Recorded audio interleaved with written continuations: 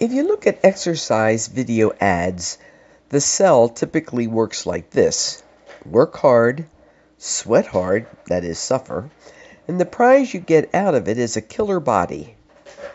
It might be tempting to apply this sort of mentality to discipleship. Work hard for the kingdom, suffer, and get the prize of heaven for it. C.S. Lewis rightly points out in The Problem of Pain that this is that this way of approaching discipleship ultimately does not work. Quote, Heaven offers nothing that a mercenary soul can desire. It's safe to tell the pure of heart that they shall see God, for only the pure of heart want to. End of quote. Lewis's insight strikes me as a key to the gospel reading for today. Jesus has just given his disciples the third and final prediction of his passion. Recall that after the first prediction, Peter rebukes Jesus.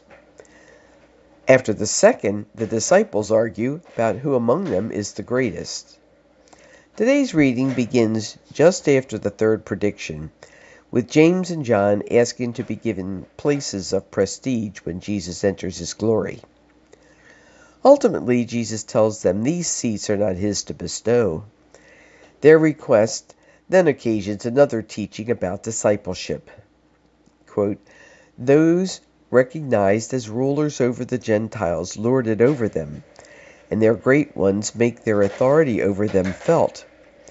But it shall not be so among you. Whoever wishes to be first among you will be the slave to all. For the Son of Man did not come to be served, but to serve. The disciples just don't get it. But do we? Let's face it, most of us value positions of prestige. Doesn't the church itself give out awards and holds honor banquets? One could counter that such honors and awards highlight Christian models and celebrate ministerial blessings. Granted.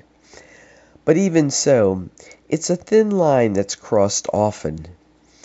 More penetrating, how many of us imagine blessings in this life or heaven in the next as a prize for hard work or sufferings endured for the gospel? A servant's heart holds the opposite impulse. It doesn't seek prestige, but opportunities to attend to others. It doesn't seek a reward for work done or a personalized prize to claim. The ideal of embracing a servant's heart seems to me to be the center of Jesus' teaching today. To embrace true discipleship is to take on the mind of Christ, who took the form of a slave. It's putting on a new divine nature.